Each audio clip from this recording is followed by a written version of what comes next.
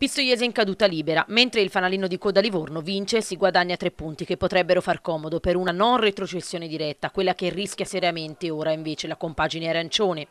Un 5-0 che resterà un triste e doloroso ricordo nelle pagine della storia della Pistoiese che proprio nell'anno importante del centenario disputa una stagione negativa. Un Livorno, ormai morto e sepolto poche settimane fa, sembra rinato. Se non altro gli Amaranto in campo mettono orgoglio e volontà, cosa che facciamo fatica a trovare fra le file arancioni.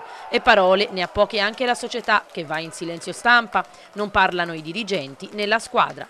Cosa dire? Parlano i fatti e purtroppo i risultati. Sesta sconfitta consecutiva, la ventesima della stagione. La prestazione della squadra di mister Sottili è stata deludente sotto ogni punto di vista. In campo solo gli Amaranto, partiti bene fin dai primi minuti del primo tempo, primi 45 minuti che terminano sul 2-0. Pistoiese non pervenuta, nessuna reazione. Valiani e compagni vagano in mezzo al campo, ma di fatto il gioco è tenuto in mano dai padroni di casa.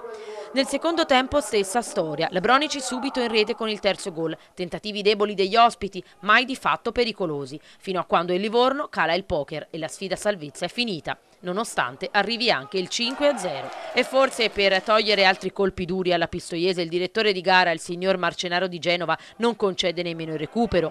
Restano solo 5 partite alla fine della regular season, 3 al Marcello Melani, 2 in trasferta. Ma se diamo uno sguardo alle squadre che lottano per la salvezza insieme alla Pistoiese, vediamo che la Lucchese ha pareggiato in casa con il Piacenza, l'Olbi ha vinto a Renate, la Gian Erminio ha pareggiato in trasferta a Grosseto e mettono così in cascina punti cosa che non riescono ormai da mesi a fare gli arancioni.